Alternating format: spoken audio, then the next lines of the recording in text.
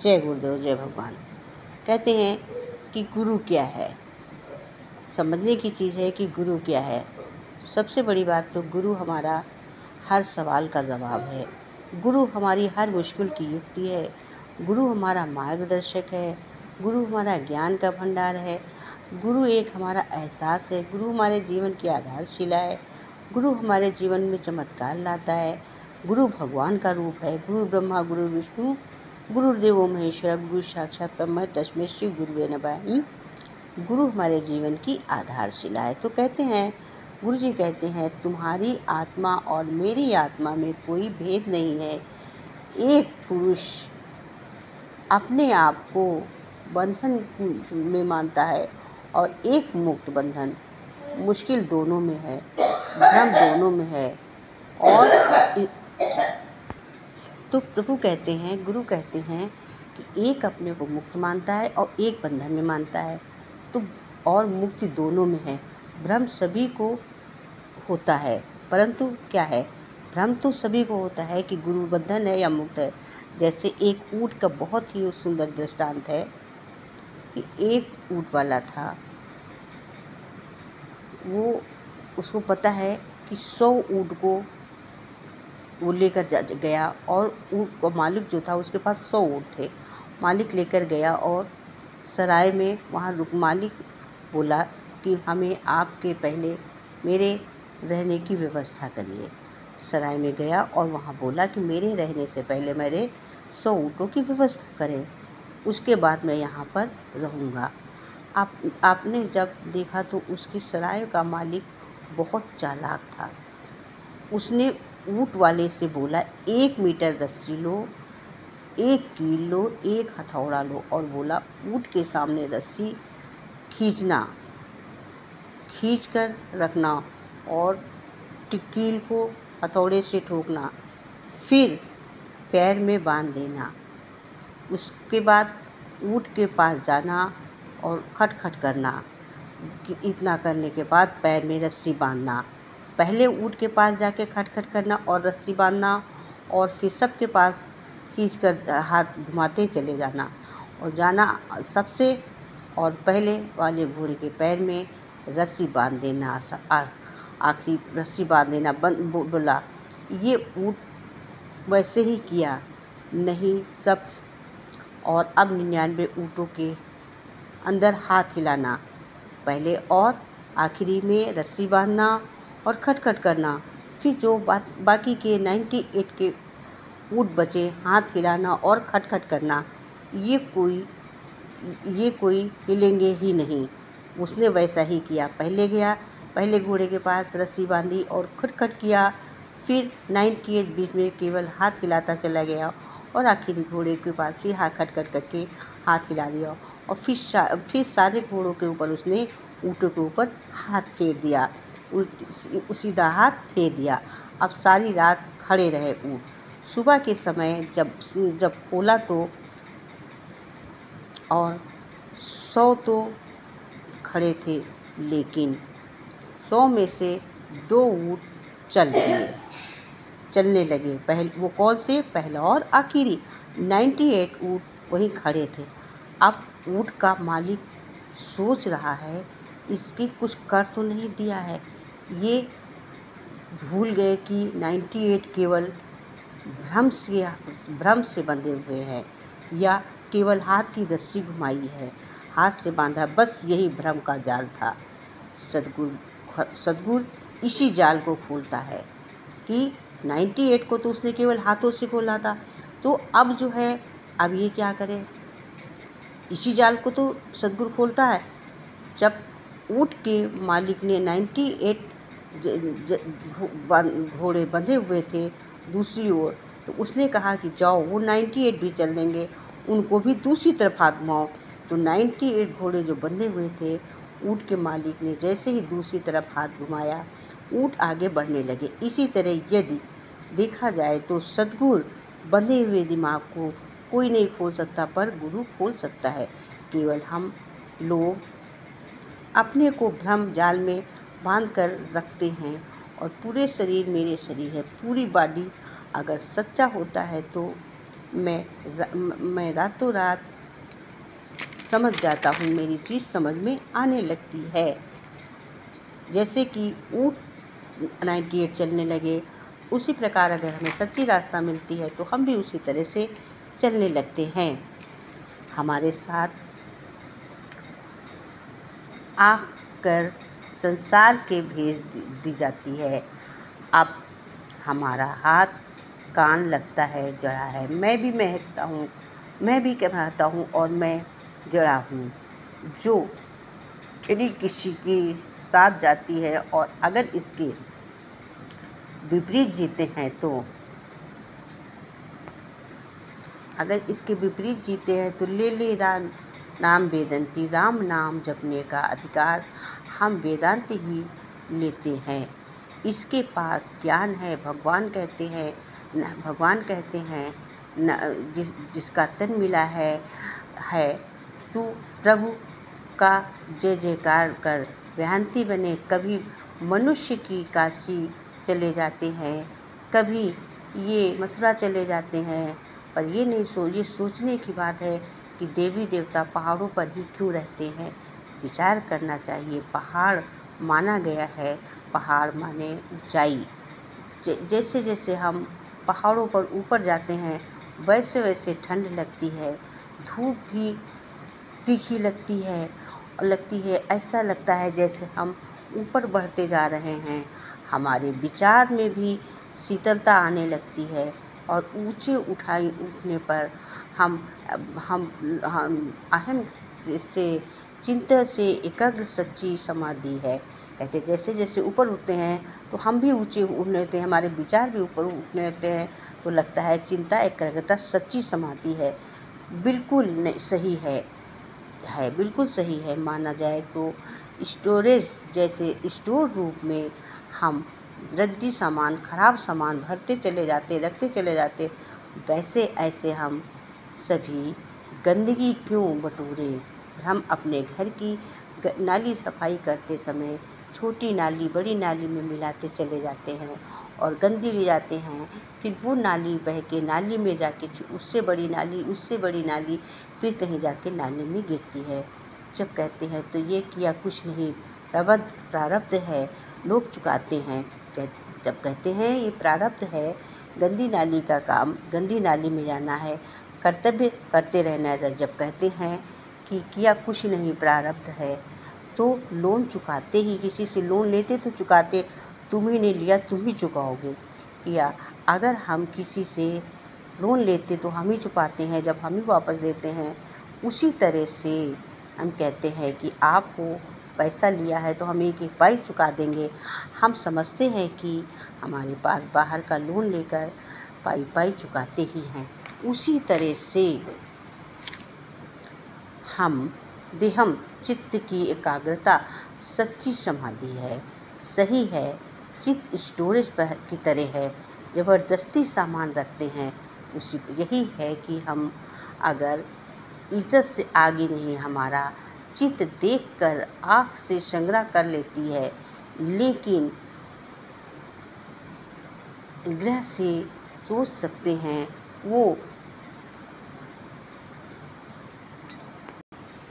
गृह सताता रहता है। सत्संग, संग उसका सताता रहता है।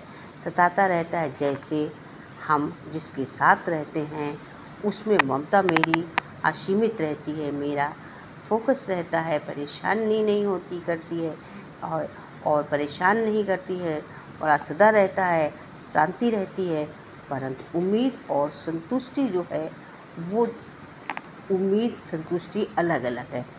उम्मीद में पूरी नहीं हो की जा सकती। खुशी नहीं है, उदासी है। उम्मीद को कभी हम पूरा नहीं कर सकते। खुशी बनी रहती, उदासी बनी रहती, पर संतुष्टि हमेशा सुख देती है। हमारे शरीर को, मेरी मेरी बॉडी को पूरी तरह से मेरे साथ रहती है है। और हाथ नहीं पूरा, शरीर डाल जाए तो झूठ का, झूठ प्लस सच हो जाता है। हम झूठ को मान लेते हैं और क्या कहते हैं? अपने शरीर को हम सुख देते हैं। शरीर मेरा है, बॉडी मेरी है, ये हाथ पैर सब मेरे हैं। अगर मेरे हैं, हाथ नहीं पूरा, लेकिन जब हमारा अंत होता है तो हाथ नहीं, पैर नहीं, मुँह नहीं, मेरा पूरा शरीर ही डाल दिया जाता है। तो ये झूठ का सब जाता, झूठ का पर सब उसी में चला जाता। ले लो। तन में नाम का अधिकारी केवल राम नाम का है। कहे भगवान कहते हमारे साथ क्या जाता है? केवल राम का नाम। इसीलिए कहते हैं कि राम का नाम लो। वेदांत देत अहम देहम। तंस के साथ रहने में ममता होती है। उम्मीद के के साथ रहने में संतुष्टि नहीं है। उम्मीद खुशी नहीं रखती है। संतुष्टि खुशी रखती है। आई, जू यू माई शेल्फ। आई जू यू माई शेल्फ, मैं अपने जीवन में सेटिस्फाइड हूँ। मुझे किसी से गाइडिंग की बराबरी नहीं है, ज़रूरत नहीं है। सुख भी निरंतर मुझे मिल रहा है। मानो कि मैं हृदय से संतुष्टि है, प्रभु मेरा है, मैं प्रभु का हूँ। प्रभु मेरे काबिल हैं और मुझे काबिल बनाते हैं। मैं मैं मानी आपकी उत्पाद।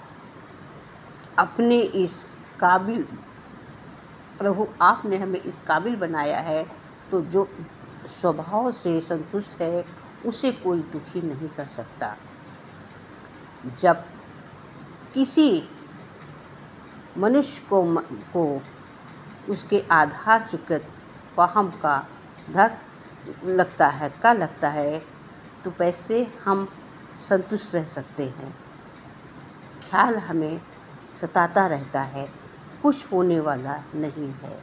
तुम्हारे साथ अंदर निर्यात बैठा है और यही सावधानी एक नया रास्ता ज़बरदस्त बना देती है। जैसे भगवान वेद को बोला, तुम्हारा संसार दुखी क्यों है?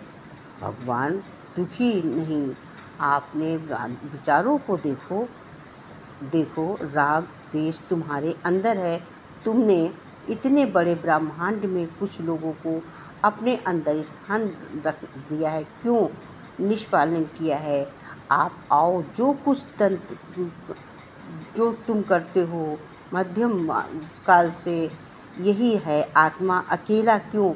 कई का वर्णन है, वो निराक्षर है।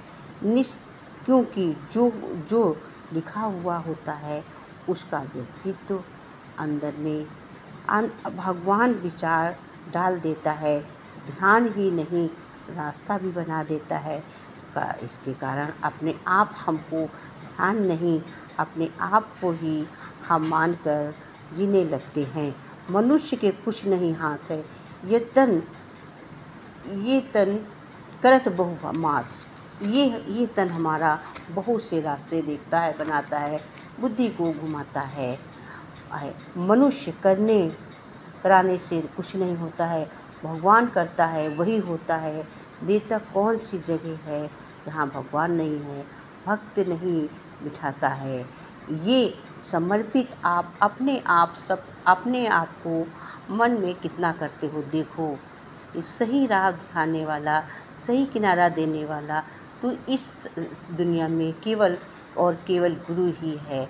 हो सकता है अपने विचारों में तुम समर्पण, सुख इसका श्रवण अच्छत है। मकान निरंतर अच्छा है। प्रिय हॉट टू ब्रीथ जो तुम श्रवण करते हो, सुनते हो, बोलते हो, क्या उसका तुम्हारे ऊपर कंट्रोल है? तो धीरे धीरे समझ आ जाती है। जब हम ये सोचते हैं, देखते हैं, कि जाता है कि जानकारी का क्या मतलब है। है, व्यास जी ने से, व्यास जी ने बोला, गणेश जी ने, गणेश जी ने लिखे, इसी से गणपत बप्पा मोरिया के नारा लगता है। मनुष्य नकलची बंदर है। जब गणेश और कार्तिकेय की शादी की बात आई तो माता पिता ने कहा जो संसार का चक्कर लगा लेगा, उसकी पहले शादी होगी। ये सुन भगवान की लीला गणेश जी ने सोच, सोचा। गणेश जी ने सोचा कि चूहे की सवारी है, भ्रमण कैसे कर सकता हूँ? उन्होंने कहा, मेरा संसार तो मेरे माता पिता हैं। इन्हीं के कारण तो मैं इस जगत में आया हूँ। अपने माता पिता का ही चक्कर लगा लिया और भगवान के वेदांत समर्थ के शब्द श्रवण मान उनकी शादी हो गई।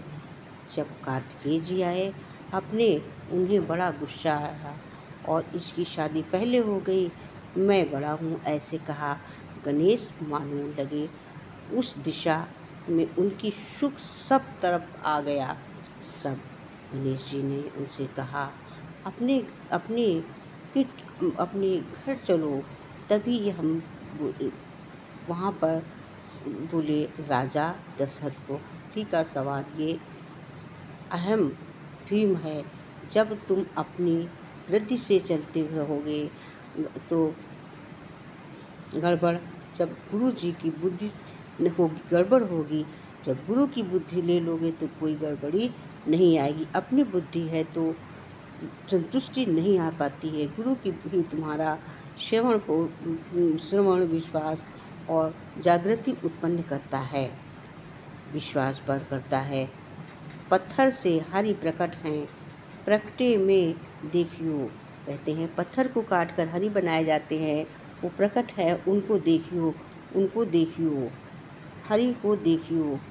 आ जाते हैं, राम को, कोई बाबा के देख ले फिर दूसरा वेद जी गणेश जी बोले, मुझे गर्मी बहुत लगती है। वेद जी मिट्टी का लेप बनाते हैं और मिट्टी का लेप बना करके उनके ऊपर लगाते जाते हैं। गर्मी लगने से प्रतिमा बनती है। और क्या गर्मी है? उसके ऊपर मिट्टी का लेप लगाते गए और लेप से वो बड़ी होती गई।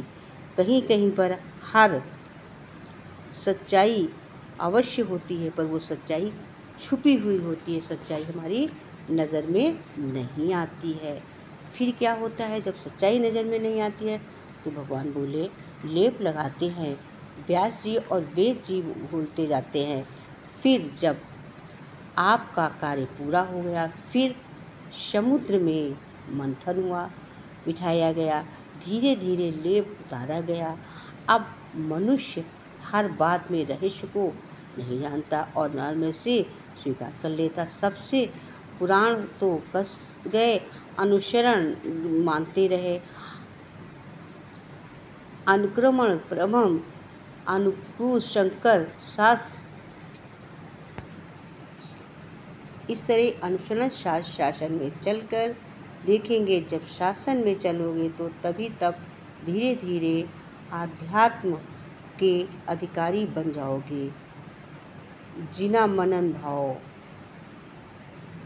से, जब मेरे अंदर निराकार में बड़ा आनंद आता है, जब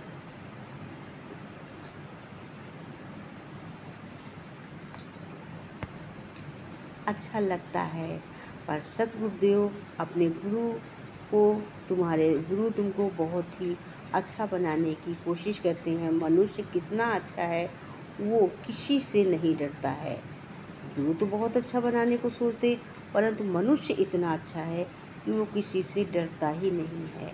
और फिर किसी से नहीं डरता है, परिणाम ये होता है कि आ जाता है कि धीरे धीरे संसार में बड़ी ही असंगत आ जाती है। गुरु अच्छा बनाता है धीरे धीरे संतान में स्वर, में की रचना में मिलकर वो सही सत्संग सुनता, सुनाता है। वो स्वतंत्र हो जाता है। गुरु कहते हैं कि, अरे, आस, तेरे भगवान जो चाहे कर सकते हैं। गुरु जी कहते हैं, मेरे ऊपर भी किसी का डंडा है। मनुष्य कहता है गुरु से कि, तुम तो बिल्कुल फ्री हो, जो चाहो कर सकते हो। परंतु गुरु कहते हैं, नहीं, मेरे ऊपर भी किसी का डंडा है। जिसका डंडा तुम्हारे ऊपर है, उसी गुरु का डंडा मेरे ऊपर भी है। मेरे ऊपर भी कोई है, मेरी आत्मा में भी कोई है। मैं भी उनको डरता हूँ। जब तक उसकी मर्ज़ी नहीं होती है, मेरा पत्ता भी नहीं हिलता, दिल तो दिल मेरा पत्ता भी नहीं हिला सकते हैं। हैं, आज के समय में सत्संग ही सबसे